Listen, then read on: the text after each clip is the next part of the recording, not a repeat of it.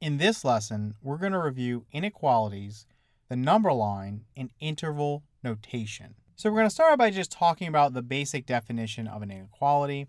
An inequality is a statement that two algebraic expressions are not equal in value.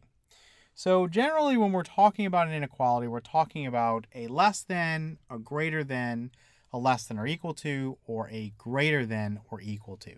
So let's start out by talking about the less than. So when we look at a less than, you notice that the symbol is pointing to the left. Okay, it's pointing to the left. And this tells us that the number on the left is smaller or less than the number on the right. So if you wanted to write something like 5 is less than 6, that would be a true statement. If you wanted to write 3 is less than 7, that would be a true statement. If you wanted to write negative 10 is less than, let's say, negative 1, that would also be a true statement.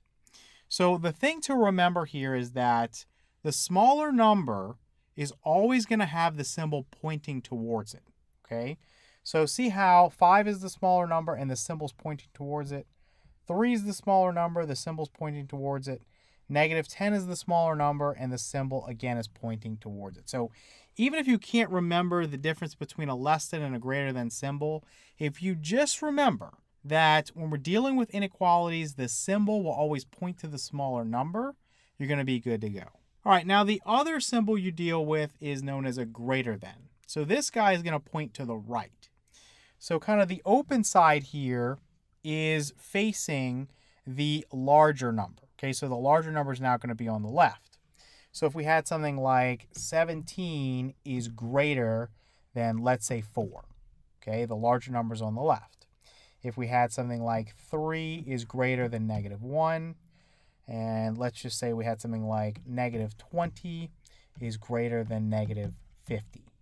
So again, always, always, always, the smaller number has the inequality symbol pointing towards it. So see this guy is pointing towards the 4, this guy's pointing towards the negative 1, and this guy's pointing towards the negative 50. And you can always tell, again, if you have a less than, the symbol points to the left. If you have a greater than, the symbol points to the right. All right, so let's talk a little bit about the difference between strict inequalities and non-strict inequalities. So a strict inequality is something that you just saw. So you saw strictly less than and strictly greater than. So if I said 3 is less than 10, right? That's a strict inequality. But if I said something like 3 is less than or equal to, right, you have that little bar there underneath the inequality symbol, well, now I'm allowing myself the opportunity for inequality. So I could say 3 is less than or equal to 3, and this would be a true statement. Although the first part, 3 is less than 3, is false, 3 is equal to 3. So when you look at something like this, you basically have to ask yourself two questions to see if it's true. So you would first ask the question, is 3 less than 3? So the answer to that is no, right? So you can write no. But that's okay, you're not done. Only one of these needs to be true. The next question you ask yourself is 3 equal to 3? And that guy is yes. That guy is yes, so this is a true statement. This is true. So only one of those needs to evaluate to true. Now, if I said something like 3 is less than or equal to, let's say 1, well, that wouldn't be true. Is 3 less than 1? No. Is 3 equal to 1? No. So both of those are no. So in this case, this guy is going to evaluate to false. Okay, so that would not be a true statement. Now you also have a greater than or equal to, and basically it's the same principle. So if I had something like 6 is greater than, let's say, negative 1, this is true, of course. But I could also have something like 6 is greater than or equal to, let's say, 5. Is 6 greater than 5? Yes, it is. So you can stop there if that's a true statement. If I had 6 is greater than or equal to 6, well, first we'd say, is 6 greater than 6? No, it isn't, right? 6 and 6 are the same number. Then you'd ask the question, is 6 equal to 6? Yes, it is. So this is also a true statement, right? So this guy is true. So essentially, when you have a non-strict inequality like less than or equal to or greater than or equal to, you're allowing for the possibility of equality, right? It can be the strict part can be true or the equality can be true. You'll get a true statement. If you have a strict inequality like less than or greater than, well, then it's got to be strictly less than or strictly greater than to get a true statement. Another thing we need to talk about here is the concept of the number line. So we've looked at the number line a few times now, and we want to just refresh our memory on how the number line works. I want you to recall that numbers increase as we move to the right and decrease as we move to the left. So as we're moving this way, the values are increasing. So if you start at any point, so let's just say you start at the point negative 3, as you move to the right, each number to the right of negative 3 is larger than negative 3. So I can pick any number on the number line that's to the right of negative 3, let's just say it's 5, and I know, based on what I said, that 5 would be greater than negative 3 because 5 lies to the right of negative 3 on the number line. Similarly, if I chose two random points, let's say this is 6, and let's just say negative 2. Well, 6 lies to the right of negative 2. You could also say negative 2 lies to the left of 6, so negative 2 is therefore a smaller number, right? If a number lies to the left of another number on the number line, it's a smaller number. So I can say negative 2 is less than 6, since negative 2, again, lies to the left of 6 on the number line. So something you might see in your textbook in a review section, we would say for any three real numbers, A, B, and C. So again, when we say real numbers, we mean anything you can think of. So negatives, decimals, fractions, you know, square root, cube root, whatever you want. These three real numbers, you can say the following things. So A is less than B if A lies to the left of B on the number line. A is greater than B if A lies to the right of B on the number line. And then lastly, A is greater than B and B is greater than C if here A needs to be to the right of B and C on the number line, right? It's got to be to the right of both of them. B has to be to the right of C and to the left of A. And C has to be to the left of B and A, okay?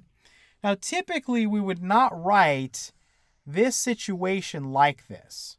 So let's just put a scenario on the board here. Let's just say we had something like 6 is greater than 3, and 3 is greater than, let's say, 1. Typically, the way you want to write this is in the order of the number line. So you would want to put 1 is less than 3, which is less than 6. Because the number line goes like this. Right? If you had a number line, let's just say this is 1, this is 3, and this is 6.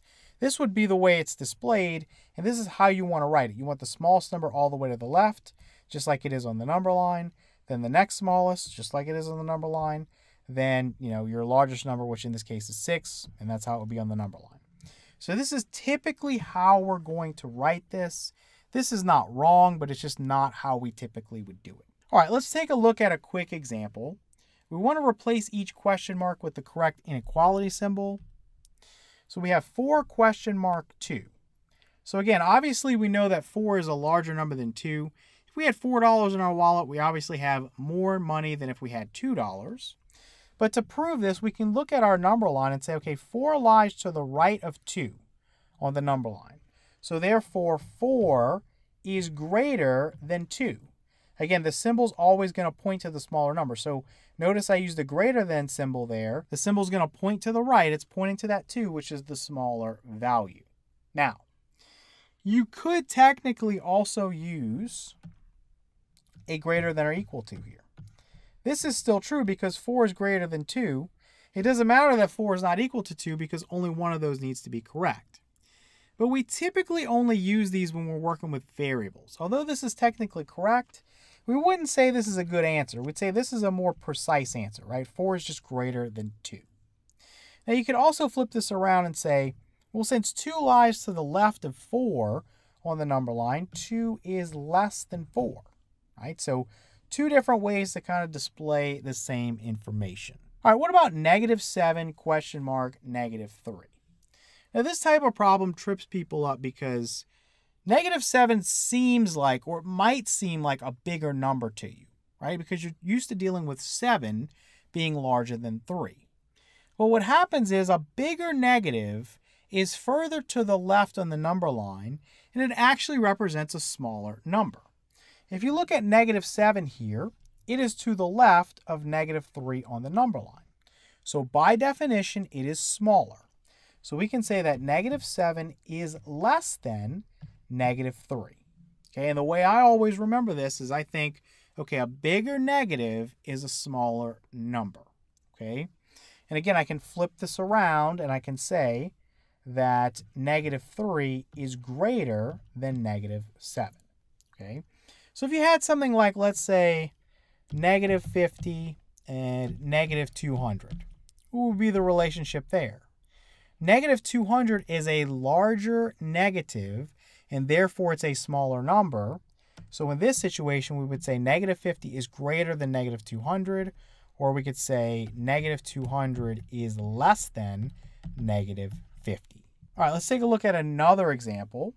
So display the relationship between the numbers using inequality symbols. All right, so if we look at the numbers here, we have negative 11, we have 7, we have negative 5, and we have 1. So the smallest number here would be the biggest negative number. And so negative 11 is a larger negative than negative 5, right? It's further to the left on the number line. So negative 11 is going to be the smaller number, and so I'm going to list that first. And I'm going to say this is less than, my next negative is negative 5. Then if I look at the positive numbers, I know 1 is smaller than 7. So I'm going to put is less than 1 and then is less than 7. So this is, again, in the order of the number line. Negative 11 will be the furthest to the left, then negative 5, then 1, then finally 7. So negative 11 is less than negative 5, which is less than 1, which is less than 7. All right, so let's wrap up the lesson by talking about interval notation. So this is a very important way to kind of notate inequality relationships, and we'll see this a lot throughout our course. So if we had something like, let's say x is greater than 5. Of course, this way displays a lot of information. We know x is just any value larger than 5. But interval notation is another way to display this information. So typically with interval notation, you want to find a way to list the smallest number that x can take on. And you want to find a way to list the largest number, okay, the largest number that x can take on. So I want to just think about this for a second. Let's just stop and think about this. What is the smallest possible value that x can take on? It's not 5 because x is anything larger than 5. And in terms of the largest number, there is none, right? It would just go on for infinity. But to focus on the smallest number right now, if we think about that, what would I put here for the smallest number? Would it be accurate to put 5.1? Can I think of a number that's smaller than that that is larger than 5? Well, of course. I could put 5.01. And then I could put 5.001. I can keep doing this forever. I can keep getting closer and closer to 5 without actually touching it. And I can do that for infinity. I can just keep going. So to solve this problem, what we're going to do in interval notation is we're going to list the 5. We're just going to put that down. And we're going to put a parenthesis next to it to say 5 is not included. So this means not included. And so this tells me that x can be anything that is larger than this number 5. Okay, so 5 isn't the actual smallest number. The smallest number would be anything that's larger than that. Then we put a comma and we list the largest number. Since x is anything that's larger than 5, technically x can go out to infinity, right? So we would just put the infinity symbol and it looks like a sideways 8. And then we always use a parenthesis next to infinity because infinity is not a number, it is just a concept, right? It just keeps going on forever and ever and ever. Now, let's think about this using a non-strict inequality. Let's say I had x is greater than or equal to 5. Well, now the 5 would need to be included, so I would need a different notation. instead of using a parenthesis, I would want to use a bracket, okay? This bracket tells me that the 5 is included in my solution. So the smallest number is actually 5 now, okay? So if I saw something like x is greater than or equal to, let's say negative 1, I would put a bracket and a negative 1 there. Okay, that's the only thing that would change. So very, very easy. The other scenario would be dealing with a less than. So let's say x is less than, let's say, 7. Well, this has to change itself up. Since x is less than 7, what is the largest number that x can take on? Well, it's any number that is smaller than 7. Again, I can play that game that I just played. I could list 7, then I could list 6.9999. I could keep going and going and going and get as close to 7 as I'd like. I can keep doing that forever and ever and ever. So again, to solve that problem, I just put 7 and I put a parenthesis next to it to say, hey, 7 is not included. Not included. And I'll put a comma. And for the smallest number, because x is anything less than 7, we go to the left, right, forever. So we would say this goes out to negative infinity. So we'll put a negative and then the infinity symbol. And let me kind of scooch this down. And I'll put a parenthesis there. So we have from negative infinity out to and not including 7. Now, again, if I had a less than or equal to here, the only change I would make is instead of a parenthesis, I would just use a bracket. Okay, so very, very easy to use interval notation. The other scenario you would run across is a three-part inequality. So let's say x was greater than 3 and less than 7. Well, 3 would not be included, and 7 would not be included, but it could be any value in between, right? So again, we'd list 3, we'd list 7, and we would just put a parenthesis next to each to say 3 is not included, 7 is not included, but any number in between would be. And again, if I change this to a non-strict inequality, these guys right here would just change to a bracket in each case. Okay, so very, very simple. All right, so let's look at x is greater than negative 2. So how would I write this in interval notation?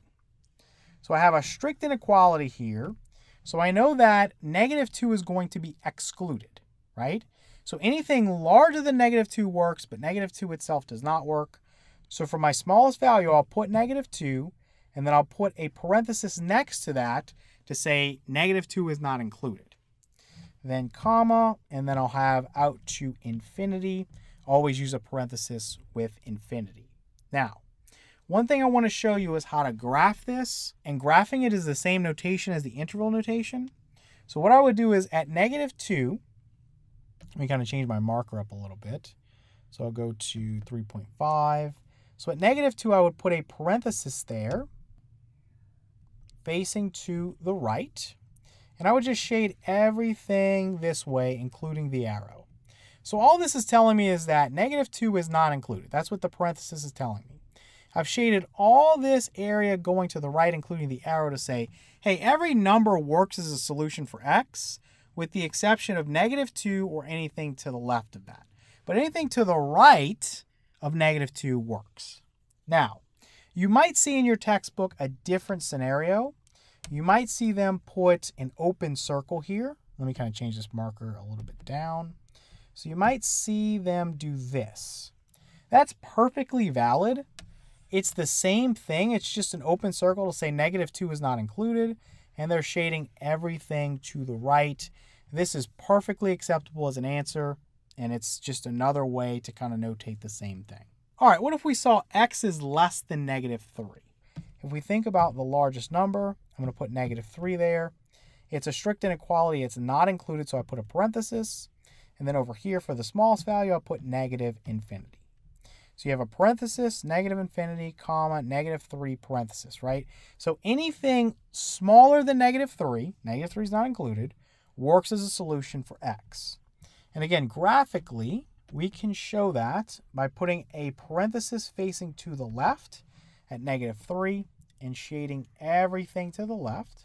So negative 3 doesn't work, but anything to the left works.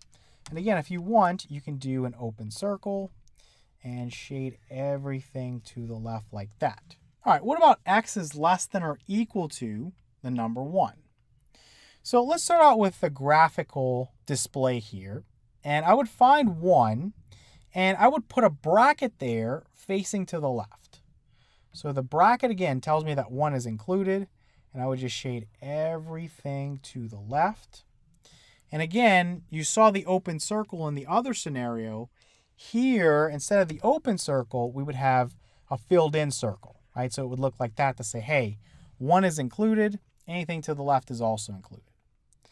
All right, so in interval notation, we would have from negative infinity, always use a parenthesis with either negative infinity or infinity, up to and including the number 1. So because we have the non-strict inequality here, 1 is included, so I'm going to use a bracket. All right, so we have x is greater than or equal to 7. So graphically, if we look at 7, again, we can either put a bracket facing to the right and shade everything to the right, or we can put a filled in circle at 7 and shade everything to the right. Again, either one is acceptable. When we look at the interval notation, we would put a bracket on the left, okay, and then put 7. So 7 is included. 7 is the smallest value that x can take on. And then comma, x can be anything going out to positive infinity. Again, we always use a parenthesis with infinity. So we have our bracket next to 7 showing that 7 is included. And then comma, we have infinity, and then our parenthesis next to infinity. All right, for the last one, we see that x is greater than negative 4 and less than 7. So graphically, we would look at negative 4, which is right here. We'd put a parenthesis there facing to the right to show again that negative 4 is not included. And we would find 7, and we put a parenthesis facing to the left, again to show that 7 is not included. So x can basically be any value between negative 4 and 7 where negative 4 and 7 are not included. So we show that graphically that way. Again, if you wanted to, you could put an open circle here and an open circle there. Again, it means the same thing, right? So I'll stick to the parenthesis throughout this course. So I'm just going to display it that way. But again, if your book shows you the open circle and you feel more comfortable with that, you're good to go with that method. All right, so interval notation here, we want to list a parenthesis, then a negative 4, then comma, a 7, and then a parenthesis.